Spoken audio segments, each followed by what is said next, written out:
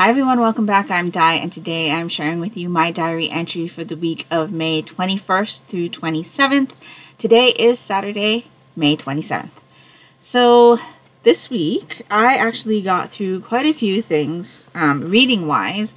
I did pull out a project that I haven't worked on for quite a while, and I do have a small yarn haul for you. So let's get into it. So there was one title from last week that I forgot to talk to you guys about because there was just so much that I was trying to wrap up there. But um, I'll start with that one. So I did read Ladies on Top Volume 2.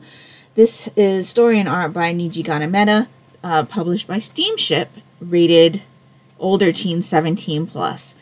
So this is a story about our two characters, our female character here on the cover, and a male character. Um, in the first volume, they are realizing that they do not conform to society's norms on what is expected in the bedroom.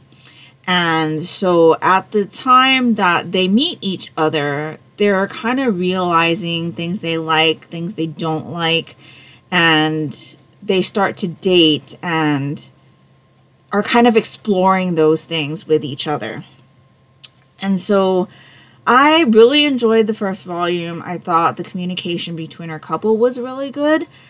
This volume, though, I got a little bit ticked off because in the first volume, we kind of see their previous relationships, like right before these two meet and start to date.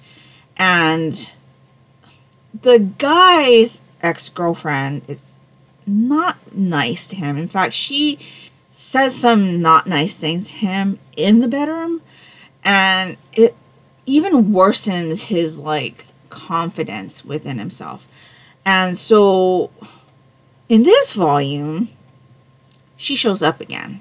And the way that whole like chapter went down, I did not like it. I wanted to kick the male character's butt because he didn't stop things where he should have. Yeah, things just were let to go on too long in the situation that had occurred that I got really angry and I lost respect for him. After all of that went down, like our character here on the cover, she kind of is a witness to it right before he shuts it down. And even with that, it kind of felt like she was already witness to too much. So I'm surprised at how she reacted to the situation, if you know what I mean. So I definitely didn't enjoy this volume as much as I had enjoyed the first one. But I'm hoping it'll get back to where our couple is communicating more um, in the third volume. Now, also something that bothered me in this volume is that I kind of feel like everything is being focused on the man's needs and not our female character's needs. There's no reciprocation that I'm feeling. Um, this is very much focused on him at this moment. And I'm not quite sure why that is. But I feel like what she's doing is catering to him, and what he ends up doing towards the end of this volume also caters to him. And again, there's a scene here with our couple, and they're in the bedroom, and I feel like he was just really like rude in the way that whole scene went down. And so I didn't like that either. This as a series is not really graphic, but there are like things, which is why it's rated as 17 plus. But yeah, I was a little let down by this volume. I am still going to continue to the third volume, but I did not enjoy this one as much as I did the first one. So I think I gave this one three stars. And yeah, a little bit let down. I do like the art style though. It's very, very cute. And yeah, I think that's pretty much all I can say about this. So I'm hoping that things will turn around for me in the third volume. Now, this week I finished my Bleach 3 in 1 edition. This is volumes 40, 41, and 42 by Tite Kubo, uh, published by Viz, rated teen. So, this is like a supernatural battle type manga. And in this one, we are still in Hueco Mundo and we are still dealing in like the fake Karakura town with the captains and things like that. And things are just really, really amped up right now. Lots of fighting, lots of battling. We're getting to see the captains show their colors and their special abilities and all things like that. And it's really, really interesting. And so, yes, really, really enjoyed this volume. Definitely need to make sure that I continue on to the next one in a shorter amount of time than I have been letting go between volumes because I do really want to get this series done by the end of the year. This is a series that I've been meaning to read for a really long time, and it is a series that I have enjoyed in anime. And so I do want to get this one done by the end of the year, which means I need to pick up more volumes faster. So I'm hoping to do that soon. Really, really enjoyed that one. Gave it five stars. I also picked up Villains Are Destined to Die, Volume 2. This one's by SUOL, original story by Gwon Gyoeul. This one's published by Ize Press, rated teen. um, this is about this woman here on the cover who ends up being transported into an otome game that she really enjoyed playing, and she ends up being transported into the game as the villainess. And so she's kind of trying to work her way out of this game with her knowledge of playing it. So at this point in time, she is trying to level up her affection with the characters involved to try to figure out which one is going to be able to help her get the best outcome for the game so that she can hopefully get out of the game. And so yeah, I really enjoyed this one again. Lots of different things going on where she's like trying to figure out who to like pin her hopes on, I guess. And it's just really interesting. I really like the art style in this. It is full color, so that's really great as well. There is a couple things in here where her interactions with some of the people I wasn't too sure about what she was doing or how it was being interpreted by the other character. Um, but I did really enjoy this. So much so that I almost jumped into the third one. I do have it. It is sitting in the manga haul bag for May. But I typically wait until I haul those before I read them Plus, if I read it, then I'd have to wait a long time until the next one came out. So, kind of don't want to do that. I am really enjoying the series. I am looking forward to reading more of this one, and I gave this volume four stars. The last volume I read this week was volume one of Yakuza Fiance. This is by Asuka Konishi, published by Seven Seas, rated older teen, 17 plus. So this story is about our two characters here on the cover. They are betrothed to each other by their grandparents, who are heads of feuding Yakuza clans. And so, in order to try to have a peace treaty, um, they betroth their grandchildren to each other. So, our female character here on the cover actually lives in a different town. And so, once they become betrothed to each other, she needs to move to, I believe, Tokyo to live with our male character and his family. And she has not really had a great school life. Like, people know that she's the granddaughter of Yakuza boss, and they don't look at her, they avoid her at all costs. Nobody wants to be friends with her because the Yakuza is scary and she's just like i don't really want to do this but her grandfather's like just go and try it out. You know, this is for a peace treaty. Just see what you think. You know, I met him, he's a great guy. And so she figures, you know, what the heck, let me do this.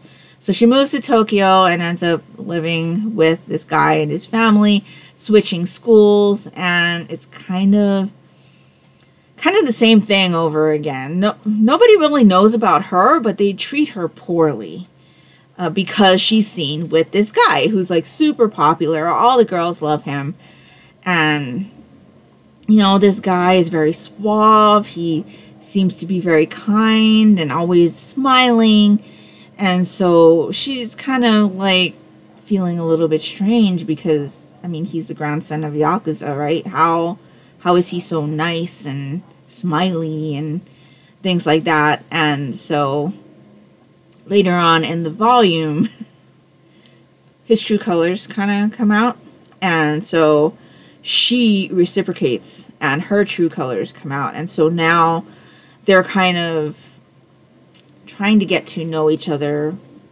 more really. And at the end of this volume, there is a mystery that is brought into the story. And so I'm really looking forward to finding out more about that mystery. But overall, I would say I did enjoy this volume. There are comical elements to this story because our female character is kind of reactive to things a lot, and the way she reacts to things is that like comedic kind of reaction where it's over the top and big huge eyeballs and you know the stances and things like that and so there's comedy there. I'm definitely interested to see how they navigate this relationship because this cover makes you think that you know they're like in it together. They are like attracted to each other immediately and that's definitely not how this story goes. So i feel like this cover is definitely misleading because this is not where they're at by the end of this volume which i'm glad for because if it was like that i would have a little bit more reservations i guess. I'm liking their banter at this point. I'm really liking their banter. I'm liking how she pushes him. And yeah there's an interesting dynamic there. And so I'm definitely interested in continuing with this one as well and seeing what that mystery is all about also. So I gave this one four stars also. This one is not full color. This one is black and white. Um, the art style is definitely different for me. I'm enjoying it. And so yes, definitely enjoyed that one. So that's everything that I finished this week. So lots more manga really, really glad to be getting through a lot more manga. Um, next month, like I said, is going to be another manga heavy month, so that's going to be really fun as well. So, yeah, I'm just really enjoying what I've been picking up, I guess. At least as far as the manga goes. Now, I am still in the middle of two things this week, so let me just tell you where I'm at with those. So, I am continuing to read Hide by Tracy Clark. This is my Kindle First Reads uh, prompt thing. And uh, this is that mystery, um, or I guess it's, uh, is it called a thriller? I can't remember if it says Detective Harriet Foster thriller on the cover, but something tells me it does. In any case, we're following this detective, Harriet Foster, and you know, last week I told you that I had a big problem with her new partner. And where I am right now, which is about 70% into the book, I'm on chapter 52. Um, she now has a new partner. So, definitely some things happening there. Um, her other partner is still working the case with her, but just not with her directly. Um, there's this new partner. I'm really enjoying the new partner. Uh, but I had to stop listening to the audiobook. Um, I was finding that as I was listening to the audiobook, my mind was starting to wander and I wasn't absorbing everything that was being said. So normally when that happens, that means I'm that the audiobook is not keeping my interest. And so I stopped listening to the audiobook. I went back through what I had listened through that day in the ebook and I read through those sections again. And it, was much better. I definitely missed some stuff, so I definitely tuned out um, while I was listening, which is not a good sign. So I'm going to continue this one um, on my ebook copy. Where I'm at right now, there's another player in the game, and we're kind of getting her perspective as well. So now we're getting a whole bunch of different people's perspectives, and I would say things that are going on at this point is interesting. The investigation is interesting. I'm hearing from all of our different characters' point of views is interesting. And so I had like thought that maybe one of the characters we had come across ha- was the suspect. I'm kind of doubting who is probably the one that they're setting up is actually the person. Like I feel like there was a assumption given to the readers like early on in this story about who the perpetrator is. But I had started to doubt that. And I had thought that maybe another character could be.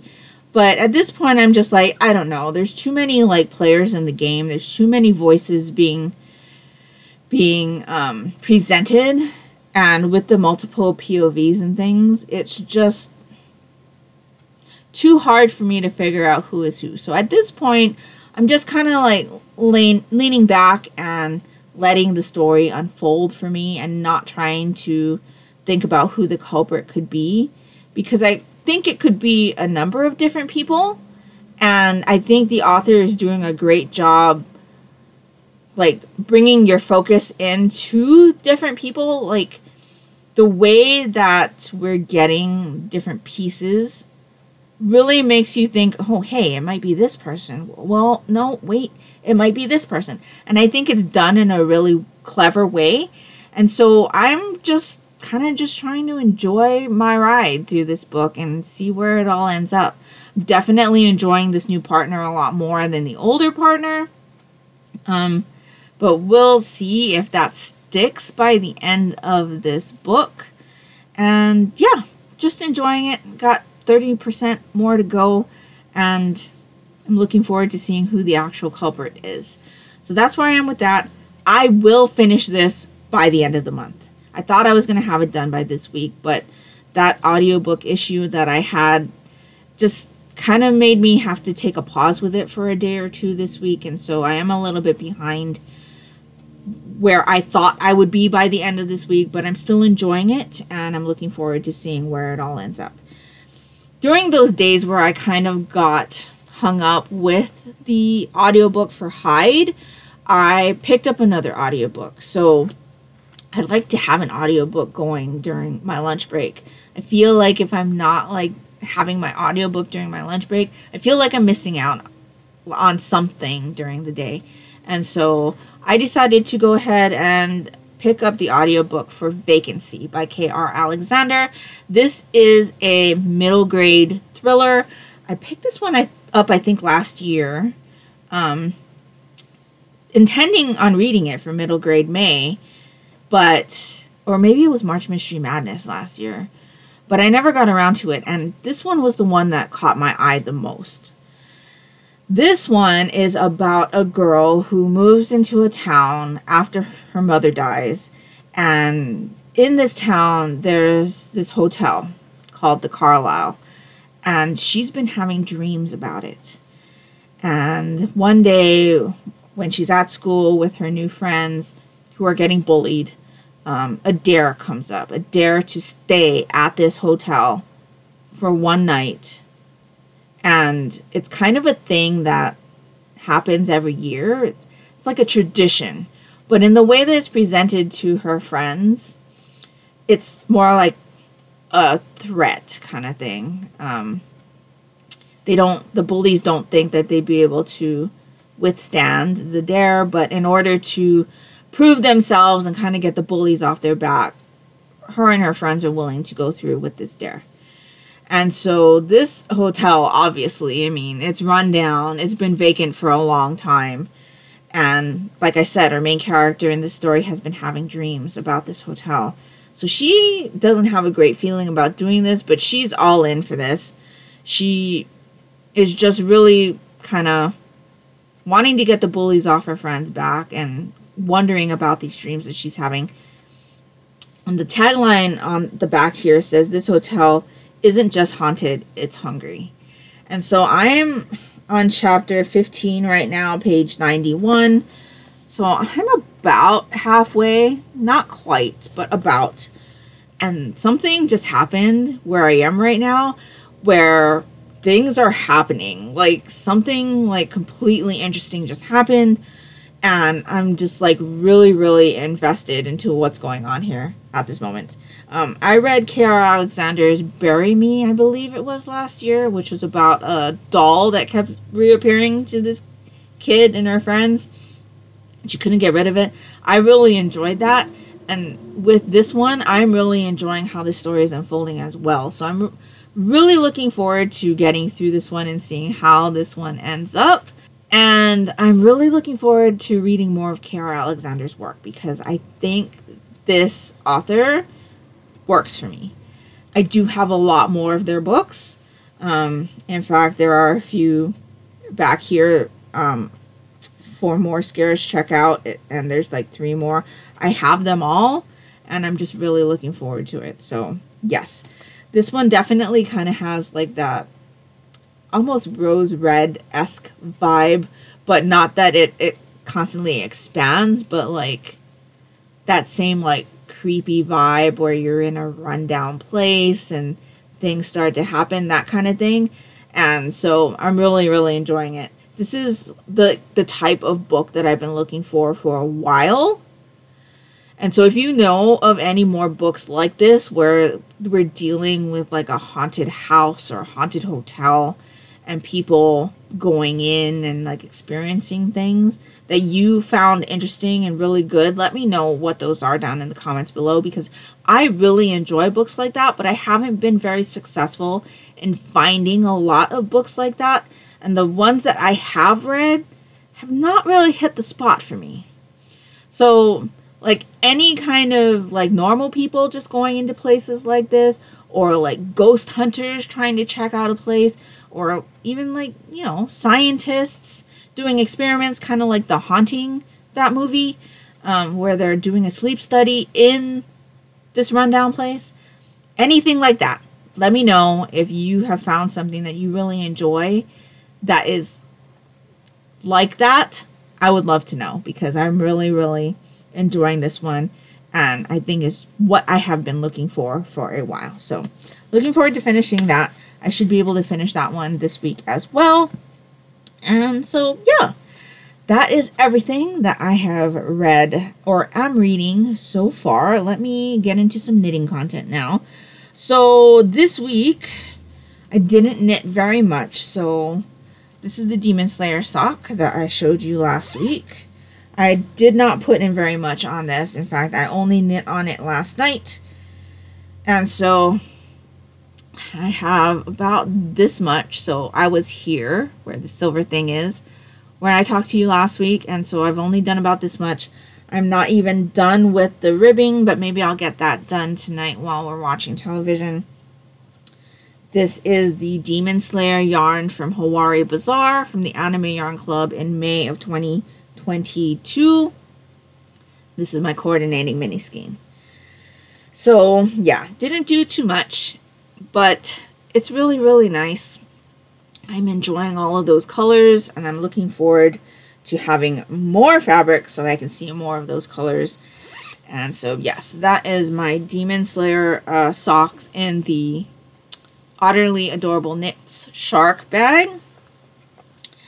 But this week I had a class. So my classes for my work are pretty much just online lectures that are like the whole day. And so I needed a specific project to work on because online lectures can be rather boring. especially if you don't really need to like retain what is being said in the lecture because there's no test afterwards. So I needed something to do because otherwise I would fall asleep. so I pulled out this project. Um, this is a really, really old project. I guess it's not really, really old. I started it last year, but I haven't touched it since last year. Um, this is in my 80s, like, cartoon bag that my mom made for me. And this is my love note. So last year I started a love note sweater. And then it started to get too hot to work on the love note sweater. Because the love note sweater has um, mohair and so I really, really needed a project where I could just go round and round and round and not have to think about it. Now, I do have my Advent sweater, but because I have all of those mini skeins, I would need to wind the skeins. And with the class being online, there's always like a pop up box every once in a while just to make sure that you're in attendance, you're there, you know, that you have to click on and submit so that they can make sure that you're taking the entire class. And so I couldn't have something where I was like looking down. So I had to have something that I could do while still focusing on the computer screen. And so I had, I couldn't do my um, Advent sweater because of all of the winding that I would have to do and and all of that finagling. I didn't want to have to deal with that. So I knew I had this one where I was just in the section where I was just going round and round and round and round. So I pulled it out. So my Love Note sweater, I am knitting in this cone of yarn. This is from Brown Sheep Company. This is their Nature Spun Fingering Yarn, which is 100% wool.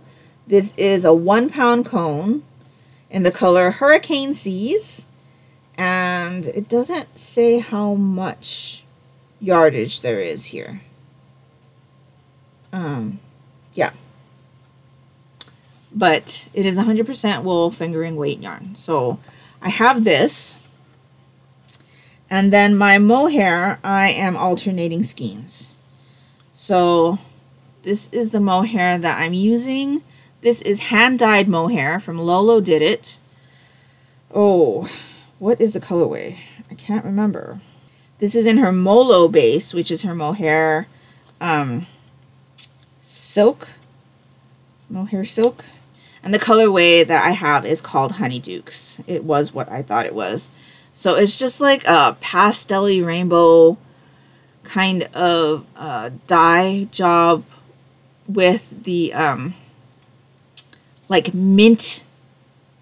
It's almost well, I don't know if it's mint. It's more of a light aqua base.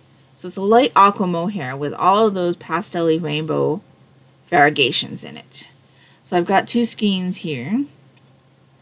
I do have a third. I have three skeins of this. So I'm only using two right now. I'm not sure if I'll need to break into the third. And so I am holding the mohair double with the comb. So I'm only alternating the mohair. I'm not alternating the regular colors. And it's working out rather well for me. Let me see if I can hold this up without having it slip off my needles. So this is what I have so far. So, yeah, I am really, really enjoying that. Um, hold it closer.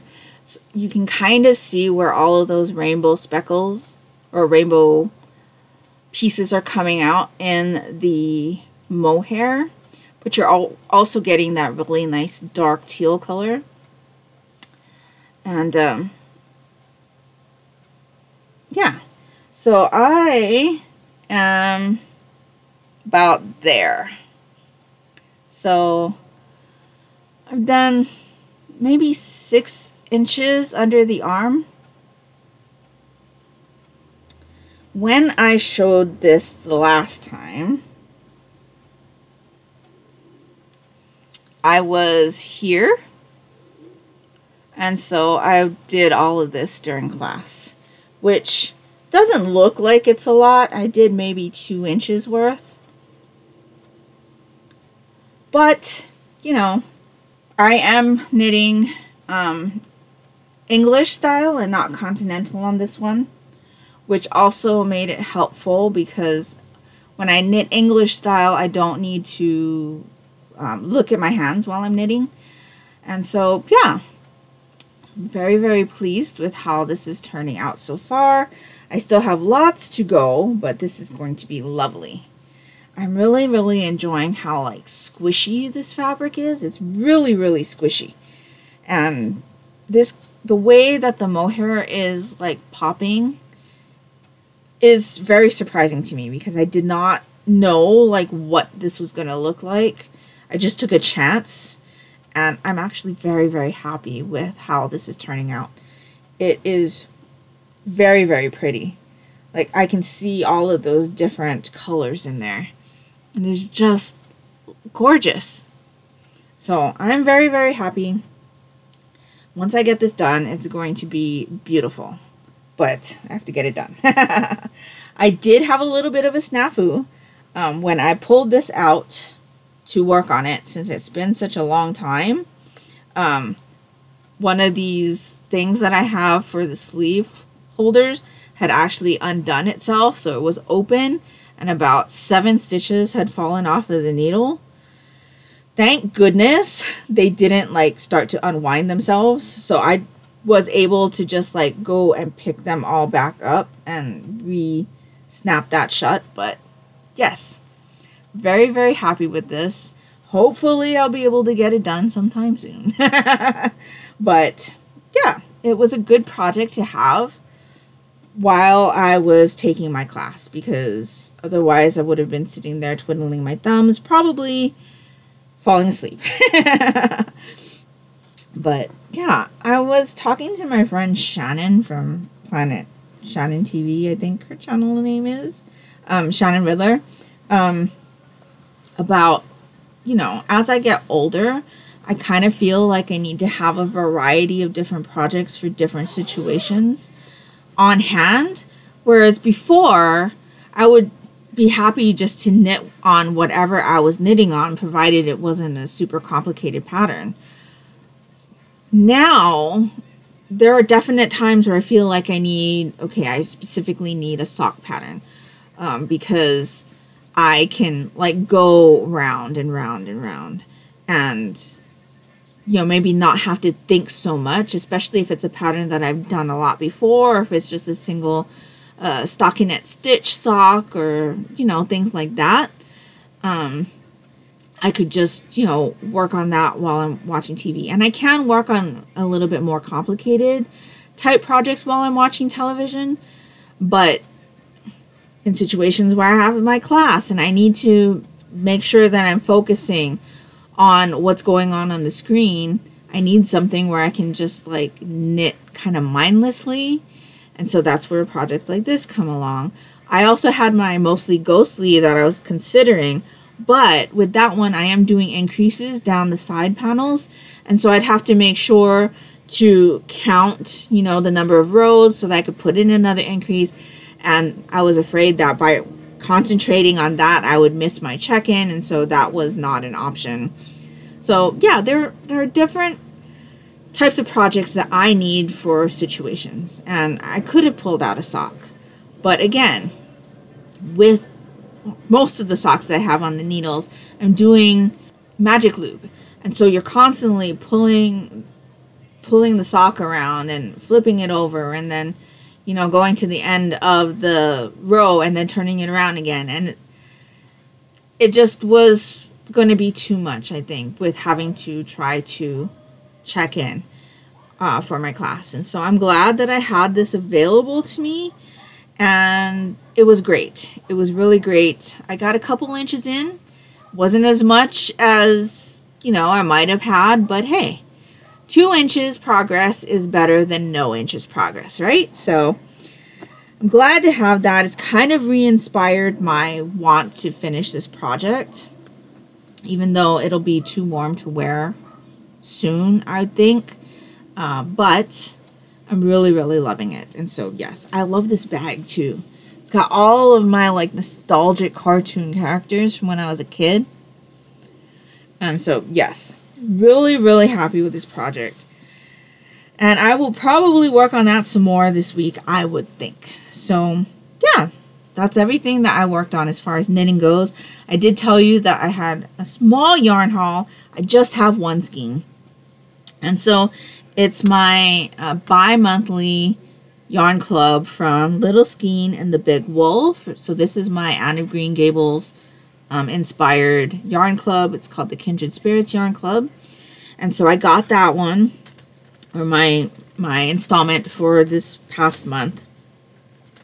And she sends like this little envelope here with a couple of different things inside. And so I have two of these little like coaster things. And it just says thanks. It tells you how to get in touch with her. And if you have any questions, it has her email address on it. So I have those. And then I have this like postcard thing. And it says Kindred Spirits, a surprise skein yarn club inspired by Anne of Green Gables. So if you know Anne of Green Gables, this is an iconic scene with Anne and Diana. Um, and on the back of it, it says, what will you make? And it gives you a bunch of like options for like one skein projects. So socks, fingerless mitts, one skein scarf or shawlette, pop of color, save your skeins to work on a bit bigger project. So that's helpful. And then um, we have this card here, which tells you what the colorway is called, which months it's for, and then a little bit more about the Anne of Green Gable inspired colorway I created, or she created for us. So this month's skein is called Warbled. It's the April and May skein. This Warbled is a brown-gray, lightly speckled neutral inspired by the baby birds that floated around Green Gables during spring. I took my inspiration from a particular passage about the path Anne walked to school that came alive with birch trees and bird calls in the spring. I named the colorway for the Canadian warbler bird that is rare but present on Prince Edward Island. This neutral will pair beautifully with many skeins of my previous club colorways, so I hope this skein will occupy a useful place in your stash and future projects. So I thought that was really nice. I think these cards are new. I don't recall them being in the um, little envelopes before because she used to email us this information. But I had noticed that we didn't get that email this this last time, and so I was like, I wonder what this colorway is inspired for, like what's it look like and things like that. Um, and so, yeah, I'm really glad that she is including it with the Yarn Club when it ships now. And so the skein looks like this. It's a very cool tone brown. And this is on her cashmere base. She switched her blend um, or her base for the Yarn Club was it at the end of last year or something like that? So it's 70% superwash merino, 20% cashmere, 10% nylon, 420 yards, and 115 grams. And so it tells you what the colorway is on the back, which month's um, yarn club it was for, and it says inspired by Anne of Green Gables. So yeah, it's like a really, really cool toned brown. And then it's got these like specks of color in there. I can definitely pick up like blue and red. Whoops.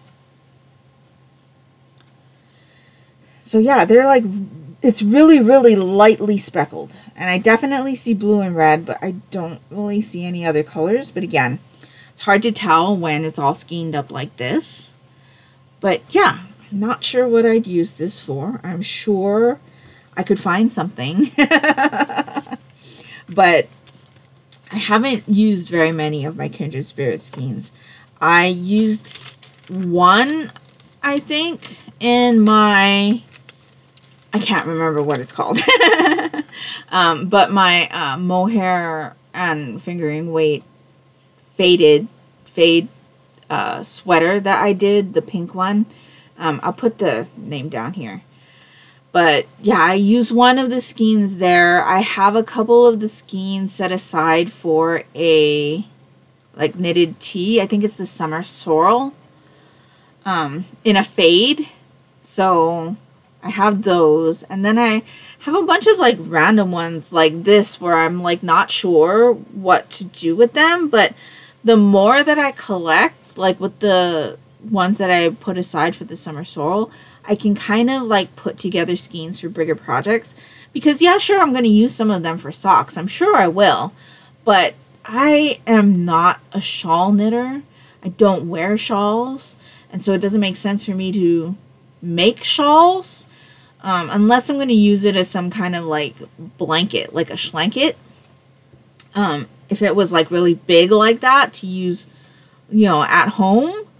Um, but yeah, so it's either got to be like a sweater, a pullover, a cardigan, a shirt, tank, something garment wise.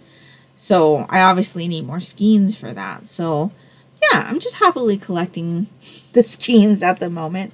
They're always really beautiful. I've never had a skein that I hadn't liked yet. And I really, really enjoy hearing her inspiration for the colorways.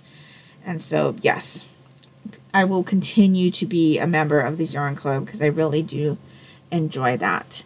And so, yeah, I think other than that, I did purchase a sweater pattern this week. Um, Stephen West came out with a like striped, it's like micro stripe sweater pattern. Can't remember what it's called. It was like 20% off because he was just like putting it out into the world. And so I did pick that one up because I think that's the one that I'm going to use for my 31 Residents of Haunted Mansion advent calendar that I am getting for this year. Um, if I don't use it for my Fangirl Fibers Disney advent calendar that I had last year, because that was also 31 days. And I think with how the stripes are in his pattern, I should be able to get every single colorway in the sweater. So I should probably use the one that I had gotten first, other than my Haunted Mansion sweater. But I thought it might be nice to try to work on the sweater, at least the body section, as I opened up skeins. I don't know if that's going to be feasible. I feel like the stripes on that new sweater pattern are thin enough where I would be able to keep up. But I have not been successful in keeping up with any kind of advent knit yet. so it might it, it's something that i'm thinking about. It's something that i'm thinking about but i will definitely need to like buckle down and actually do it and put the time in. I think i can do it. I think i can do it but we'll have to see. So i think i am going to hold my haunted mansion advent calendar to open at christmas time so what I'll probably do again is open it around Thanksgiving and start it then so that my last skein opens on Christmas. Um, so yeah, I think that's everything I have for you this week. Let me know if you have read anything interesting or done anything interesting this week. Or let me know what your best read of this month is. By time you see this video, it will be the last day of May. So let me know what your highest or lowest rated read of the month were because I'd really love to know. I still have a few days um, to tell you, so I'll definitely let you know about those in my end of the month meeting reflection video, as always.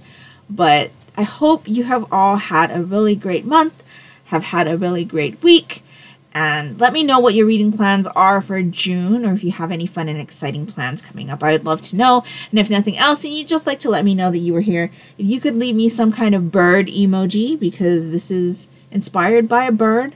Um, down in the comments below, that would be greatly appreciated and would really help me out. And that will do it for me today. So I hope you're all doing great. I hope you're all safe and healthy. And until next time, take care and smile always. Bye.